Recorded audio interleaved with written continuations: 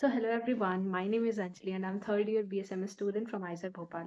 So in this video, I'll tell you people regarding the eligibility, syllabus, exam pattern, how you have to prepare, and at last, how many seats are there.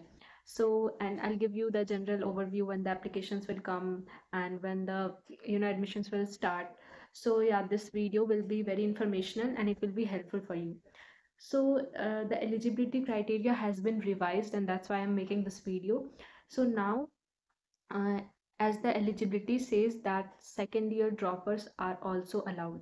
So people who have done their, you know, 12th in 2022, 2023 and the present year 2024, uh, all are allowed to take uh, admission in IISERs. And everyone should be Indian and that is either they can be person of Indian origin or you know overseas citizen of India. So in short, you have to be Indian to apply for IAT, that is IISER aptitude test. And as it says that uh, your whatever from wherever you have done your 12th, it should be recognized from this Council of Boards of School Education in India. So you have your uh, degree should be recognized from this. And you must have three subjects minimum from PCMB, physics, chemistry, maths, and biology. You can have PCMB, you can have PCB, or you can have PCM. So minimum of three subjects is necessary. And in aggregate, that is in total, you should have 60% marks. So it doesn't mean that only in PCB you should have 60% or in PCM you should have 60%. Overall, you must have 60% marks if you are general, OBC, or EWS whatever so and if you are SC, ST, PWD, then 55% marks in aggregate you should have. So this is the eligibility criteria which has been revised. And if your results have not come yet, then you can apply. But after your results, you should fulfill the eligibility criteria. Then only you will be given admission. Even if you get very good marks in IAT and you do not follow the eligibility criteria, then your marks are worthless so you'll not be getting admission even if you have very good marks in IAT so um, you know fulfilling the eligibility criteria is very necessary and people who are OBC they generally you know click on OBC but even if you are OBC but your family income is more than 8 lakhs or whatever is there the desired uh, income so if it's above that then you won't get OBC I hope that you people know so if you apply under OBC, then at the time of document verification, your admission will be cancelled on the spot. And if you have applied under OBC NCL and you are not able to produce that OBC NCL certificate of that year only, so you are applying in 2024, so your OBC certificate should be of 2024. So you should be able to obtain that certificate or else you will not be given admission. So, and yeah, uh, if your family income is more than 8 lakhs then you have to apply under general. If you have obc ncl certificate then only you can apply under obc ncl so that's uh, the point which you should keep it in your mind. And uh, i think that your exams dates have been announced and it's on june 9 at 9 a.m in the morning and your examination will be computer based so all the best and now IISERs only take admission through IAT that is IISER aptitude test. No KVPY no JEE advance only IAT that is IISER aptitude test. And uh, I hope if you have given improvement in whatever courses so better of two will be considered. That is uh, whatever is the better. For example you have given improvement in biology then if your marks in the present year is lesser than your last year then no problem your last year marks will be considered. So that's the case of improvement. Better of the two will be considered. So and if you have done your diploma so if you have done your diploma of 3 years then your last year marks will be considered. So i hope that i'm clear with this point.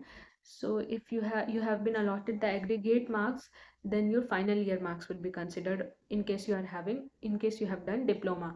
So that's the and if you if your institute has given you grade a b c d then or cpi then your cpi will be converted to percentage so there is a, rule which IAT has given on its website that your percentage is equal to CGP or CPI whatever is there by maximum point scale into 100 for example you have obtained a cpi of 8 and maximum point scale is 10 then 8 by 10 into 100 that is 80%. So this is how you'll calculate your percentage if you you are been allotted CPI.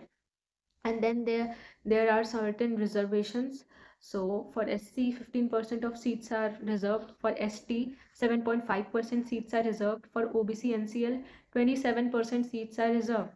And for OBC NCL, you should produce a certificate of being OBC NCL of 24 to 25 year only. And for PWD, 5% seats are reserved. For Kashmiri migrants, 3 seats per IISER are reserved and for EWS category 10% of the seats are reserved so this is the revised eligibility criteria which I have told you people. And then I'll tell you the syllabus. As IAT has declared that few days ago only and I informed you people also. So your uh, syllabus will be rationalized. So your rationalized syllabus of NCERT will be followed. So it it has stated that IAT will broadly follow the revised rationalized NCERT syllabus of 23-24 year. So according to my interpretation as it has said that it will broadly follow that means it will mainly follow. So that doesn't mean that it will precisely follow that syllabus. Yeah broadly it will follow but not precisely because if it had to be precise then it would have said that it will follow precisely or they would not have used the term broadly. Broadly means only like upar upar se they'll follow maximum they'll follow the rationalized syllabus. So yeah your first attention should be towards the rationalized ncert syllabus you people must have uh, read those because that's what new NCERT you people are following now. So I hope that it's clear. And the time and date already I have told you it's 9 June at 9 a.m.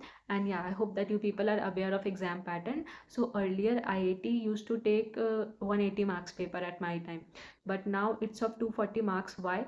Because earlier my grading scheme was plus 3 and minus 1 for all correct questions you were awarded plus 3 marks. But now for every question you are awarded plus 4 marks. So there are 15 questions in each section. 15 physics 15 chemistry 15 maths and 15 biology. So and 15 questions so 15 into 4 so 60 questions are there. And then per question is of uh, 4 marks. So 60 into 4 24 so 240 marks total. So that's the exam pattern so avoid doing negative mark so that will be good for you and uh, then yeah you'll be given your rank list after you give your examination and not everyone will get rank so if you are given rank that doesn't mean that your admission is confirmed in IISER. Uh, not everyone will get rank but whoever is getting rank that doesn't confirm your admission to IISER. so only few people according to their rank will be given admission and that cutoff will be you know that will come and you will find you have to apply on that basis. It, it is a detailed you know procedure. I'll tell you people uh, the counseling i'll tell you about the counseling experience in later videos. So first at least clear IAT so yeah the i hope that you people know that the application will come on 1st april. It's the tentative date and you can apply till 13th may and then there will be a correction window. So you can do correction from 16 17th may and then your hall ticket will come by june 1 so this is the overview and now i'll tell you about the seats that how much seats are there. So in IISER Berhampur 180 seats are there. In IISER Tirupati 275 seats are there. In IISER Tiruvananthapuram 320 seats. IISER Mohali 250 seats IISER Kolkata 250 seats, IISER Pune 288 seats, and now IISER Bhopal, the biggest IISER. So 255 seats in natural sciences, 84 seats in engineering sciences, and 31 seats in economics. So in total, you have 1933 seats in all the IISERs. And of course, I have told you about the reservations. So reservations are also there. So prepare accordingly. Now competition will of course increase because second year droppers are allowed now so and JEE advance is also not there so everyone will apply through IAT only. And now how to prepare? So I've already made a video regarding preparation but here I'll just summarize it. So choose your appropriate teacher or whatever from whoever you were being taught just follow that teacher only. So for every subject uh, see the one shot lectures which are available on YouTube and there are many great teachers so do not restrict yourself to a course. For example I have done biology from Garima Goyal ma'am because at that time she was very active and also Vipin Sharma Vipin Sharma one shot lectures. So you can do biology from them ncrt highlight series or ncrt one shot just type the name of the chapter and ncrt one shot you'll get many videos and you can follow one teacher and then keep following that teacher only. So do the one shot complete the one shot and then do questions from question bank. Whatever question bank you are following just follow that. So for biology chemistry and physics and maths for everything you can do like this just see the one shot and then questions see the one shot and then questions. For ncrt organic chemistry and inorganic and biology organic inorganic and biology read the ncrt read the ncrt see one shot and do questions because they're all memory based. And for physics and physical chemistry and maths practice of course. Even if you do not see one shot you just see the short notes for whatever you must have prepared during your preparation. So see that and then do questions. So that will help you people. And you can see one shot also and then do questions. So this is the strat- strategy which i followed during my preparation and it helped me a lot. So you can do like this. And per day complete three chapters because that's the necessity now because very few time is left. And people who are pcb students and they have not touched maths so don't touch maths now because uh, this is not the time to touch maths. You should have done your maths from starting only because maths needs a core uh, you know basic understanding of that. You have not read maths since 2 years then how will you do maths in 3 months? It's not possible. But pcm students who have not touched biology you should touch biology because uh, doing chapters few chapters of biology is not tough. I have told what are the chapters which pcm students can do in biology. So that those chapters are just general chapters so you should do them. I'll pin that link in you know comment section. So this this is my honest suggestion to you people. Now it depends on you all. Uh, you people are mature enough. You people can decide whatever is good or bad for you so i hope that this video was informational. I made this video after taking your live session only. So whatever i thought that you people are having most of the doubts so i just summarized here. So that's all for today. I hope that this video helped you people and it cleared your doubts. So remember now second year droppers are allowed. So yeah prepare accordingly. All the best